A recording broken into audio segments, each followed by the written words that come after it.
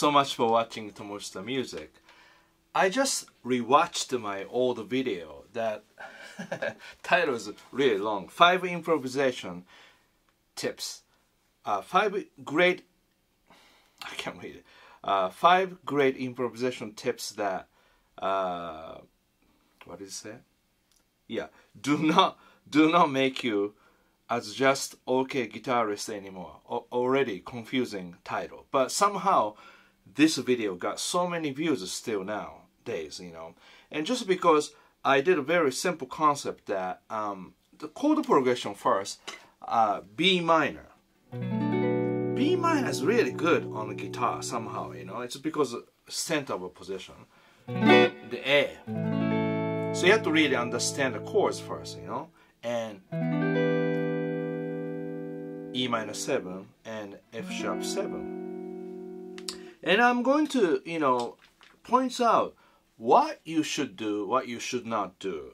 And for example, a lot of people, you know, uh, after I play any solo, um, people ask me, what scale are you playing? That question is wrong because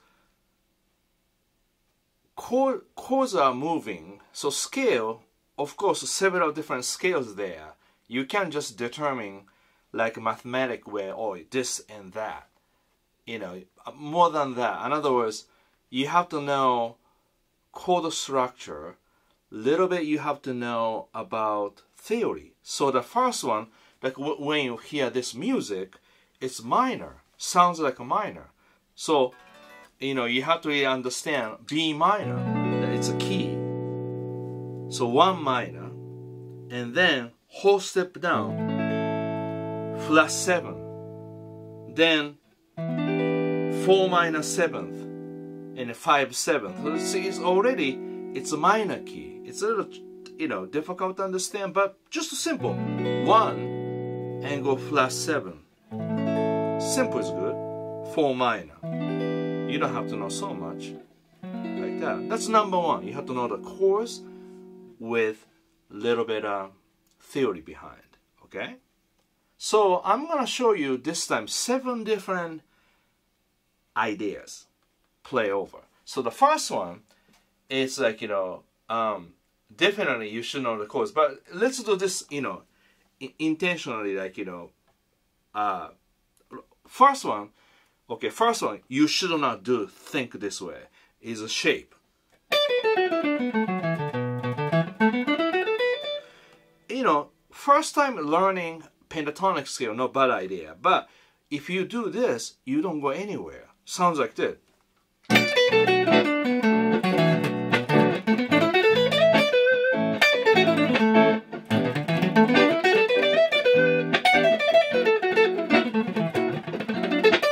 The problem is you you chasing shape, so already you are not using any rhythm because so many notes avoiding play rhythm because once it runs sounds like okay.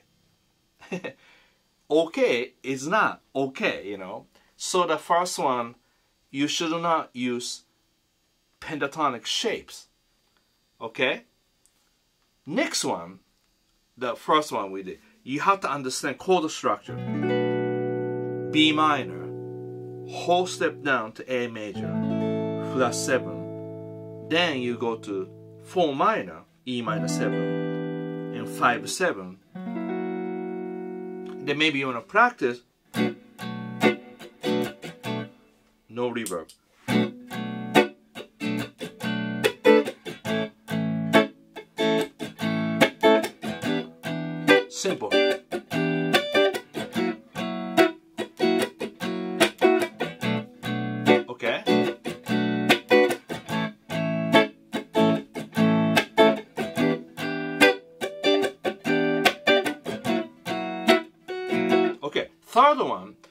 You should you should know triads, especially top three strings. So B minor. So this is not a lesson about the triads. So you want to look up triads lesson, especially uh, foundation triad at Guitar Wisdom. Because if you learn that, you get best education you ever get because I teach all the details. I do not use tablature because tablature now really helping you to make you better guitar player because that's just a fast uh, way to do it. But the, you know, best way to do is you know when you play in root, minor third fifth. This is major. I'm a minor, so like a minor third fifth root. You know, first inversion. You know, five root and flat three, which is um, second inversion. But again, you have to understand major first and change to minor. So no memorization involved, you know. Now, so um, if you want to learn that, please, you know, get to guitar wisdom so that way you won't waste your time, you know. And now A, like that, okay. So now E minor, I start from second inversion. F sharp from first inversion. So all you have to know, major, minor inversions. If you don't know it, not good. Great player always knows these things, okay? So that's number three, triads. And now, number four, sometimes don't be afraid to use a simple phrase. So like, you know, so I add a reverb a little bit. Like this. Even like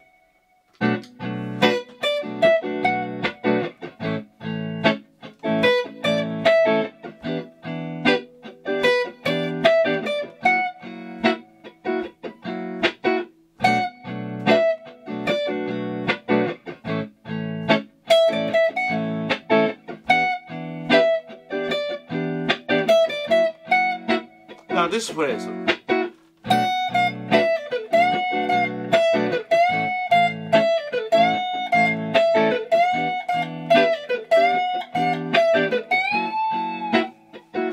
Blues, you know. So, you know, technique involve a little bit phrasing, rhythm, pentatonic, bending, so many, you know, little things they involve.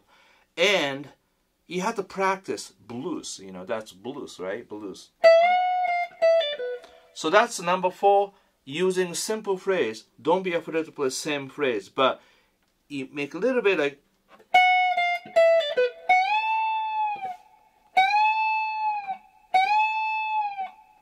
like kind of crying.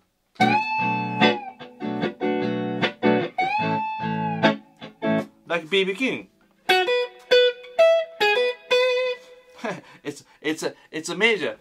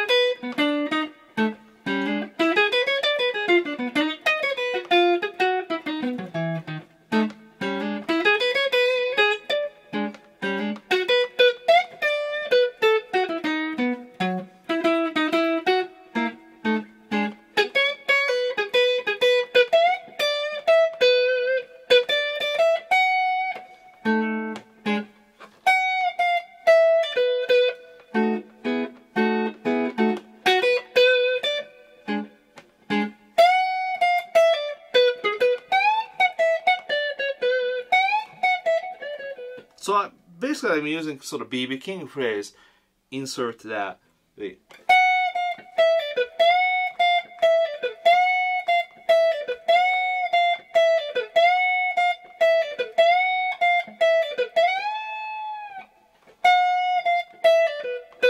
And I got this Mr. Music from Brighton, Boston, Massachusetts. And Tom, thank you so much for teachers. And you know, my street Tom lives on my street.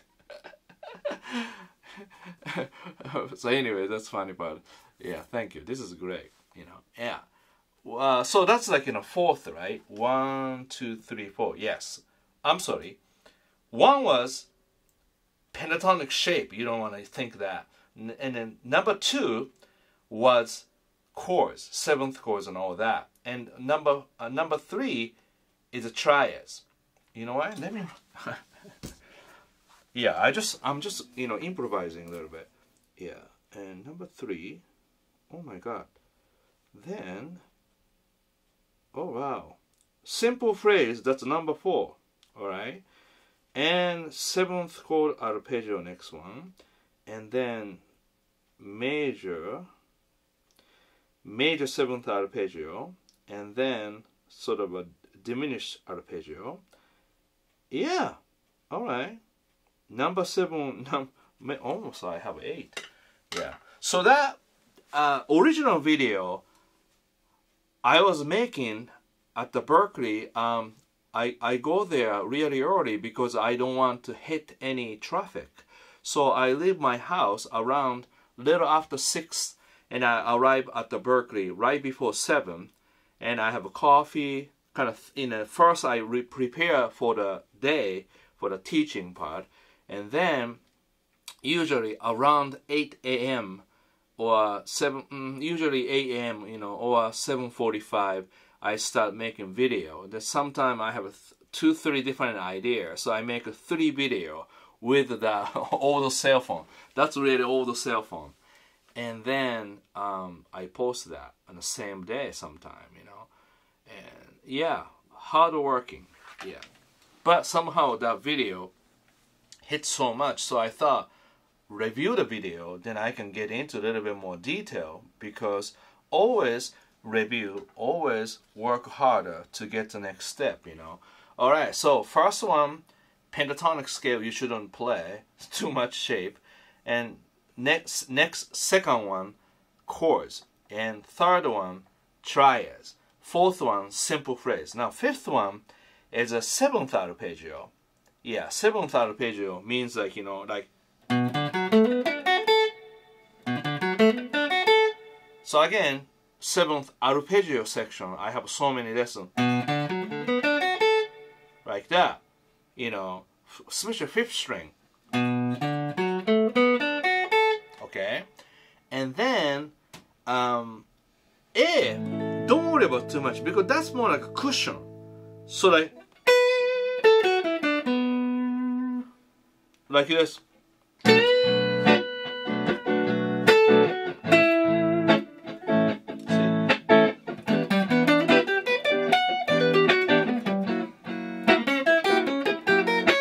Now, so four chord, it's really different because one, and then know, flat seven is kind of a you know uh, in diatonic you know almost uh, connecting nicely. Then four are different. Now four you can play minor seventh arpeggio like root minor third fifth seven root minor third five seven. It's not too bad, right? Now, interesting part is if you play minor, then if you play major seventh arpeggio above minor third, that's become a little jazzy. So minor third means root, second minor third. So what happened? So you play E minor and a G G major seventh arpeggio. And what's happening is, as a theory, flat three, five, flat seven, 9. If you don't understand degree, then that's you need basic theory because that way you understand that little jazzy approach. So minor, minor, um, major seventh arpeggio above minor third, you know, like that. That's a really nice sound, you know. And then other thing is that like major seventh arpeggio from here. That's what Stevie Ray Vaughan does.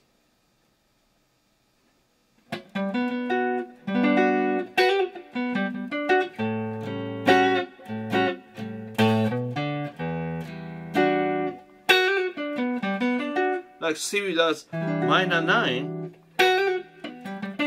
So he understood major 7th arpeggio kind of work. Or that's minor 9 in a way. So just a little things, you know, really uh, fun to play. So that minor seventh arpeggio, major seventh arpeggio above minor third. Above.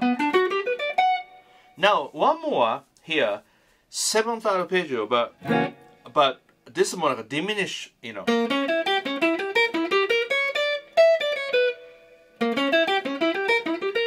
It's it's the same shape like that.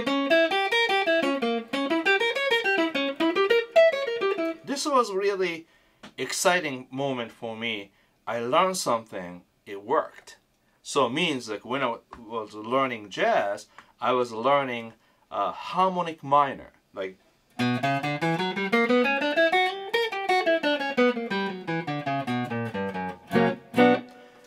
Once again, if you want to learn all the scales, I have music theory section at the Guitar Wisdom. 20, more than 20 um, theory. This is one of a harmonic minor scale, you know.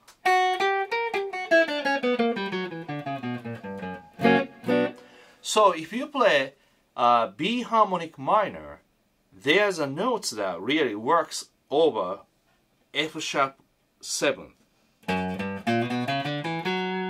Sometimes we call Mixolydian flat 9, flat 13, or uh, Phrygian dominant, you know, more rock player. So basically, you know, root, flat 9, major 7, major 3rd. So really, root, flat 9, 3rd, 4th, 5th, flat 13, flat 7, root. Once again, this is all theory. It's just more like a theory is almost like to me, you know math. I mean, you know, don't get me wrong, wrong way, but just you know, not math exactly. Um, basically, just like as if you understand number system. Important, right? How to count one through ten. So you wanna buy four dollars something, you you know, hand it ten dollars. You understand you're supposed to get six dollars back theory is just like that, you know. It's not big deal, but you have to know. Otherwise, you lose. you know, so so this case, F sharp 7, kind of jazzy approach, but what happened is major third, fifth, flat 7, flat 9. Like that. So, um, okay, that's it. That's seventh, right? Yeah, seven. That's seven. Okay. You want to learn each one topic and you master it. If you don't know, don't um, worry about because you step back, go back and learn theory section. That's it. You know. And then after all, you learn everything. Sometimes people say break rules. That means it's not about forgetting rules. It's just about make more tasty idea uh, besides um, like rules. Okay. That's why here's a difference between working on triads or working on scale. That's like a practicing. Okay? Practicing is you have a theme goal and you work on it. Okay? So a little bit stiff little bit mechanical because you're working on it. But then eventually you learn everything and you feel and you let everything go, you know. That's hard to do. But but the, before you do that, you have to learn all the system so that you understand. So that's where people always are confused. Well, I want to be really great songwriter. I don't want to learn music theory because that really bothers me become too stiff. That's not right idea. Why John Mayer went to Berklee, Why he bothered to go to Berklee, Because he want to learn more. He want to test himself how much he understood and he what he needs. Okay, whatever he's lear learning, he learned. He could choose to use or not use. It's not necessary to use every uh, speck of it. But good, great part of it, John learned basic theory and basic guitar skills. So that means he can learn any song he wants. That means he can write any song. But in order to write good great song, you have to learn great song.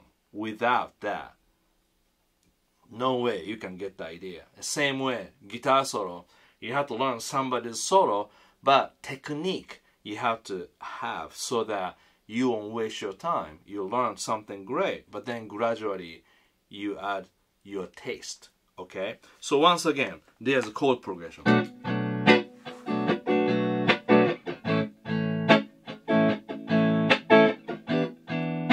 Then after you learn everything,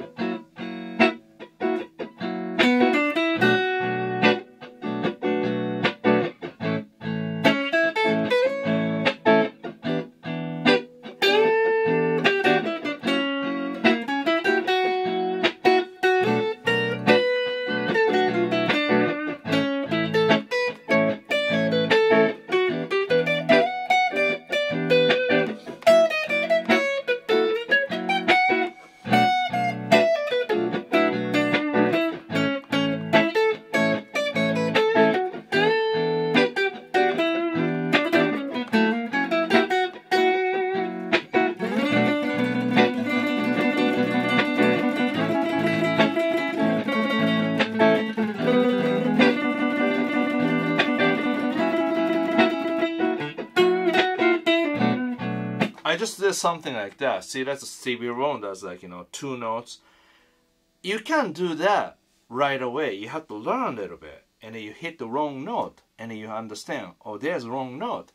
But next to it, there's right notes. But you have to really understand how to get that. So I should shut up now and let you practice. And thank you so much for watching Tomo Fujita Music.